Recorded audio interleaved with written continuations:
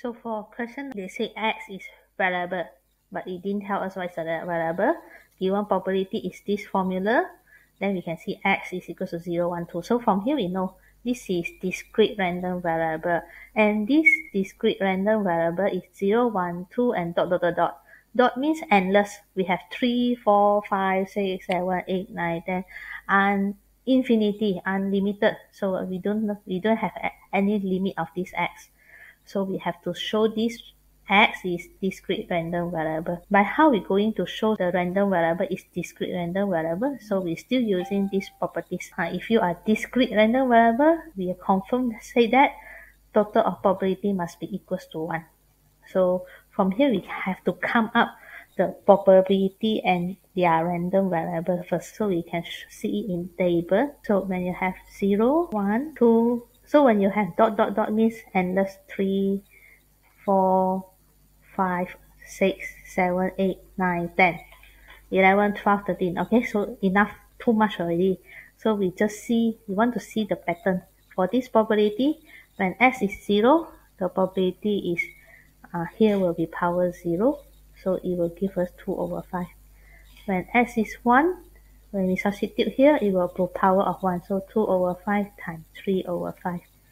When x is 2, it will be power of 2. So we can see the pattern. This is power of 2. When it is 3, it become power of 3. When it is 4, it become power of 4. So to show that this is a discrete random variable, we have to know what is the total of the probability. So this total of probability we can see for the first random variable 2 over 5. Uh, then when x equals to 1, it will be like this probability and x equals to 2, 3, 4. Actually, we still have 5, 6, 7, 8. So when you can see this sum and sum and sum and sum together, so sum to infinity. So we get to the sum to the infinity concept. So you can see this uh, sequence is a geometric sequence. So geometric sequence we will have first term, we have common ratio. So in order to calculate sum to infinity, the formula is a over 1 minus r. So what's your a? The a will be our first term. So from here, we see this pattern of this value that we need to sum. Our first term is 2 over 5.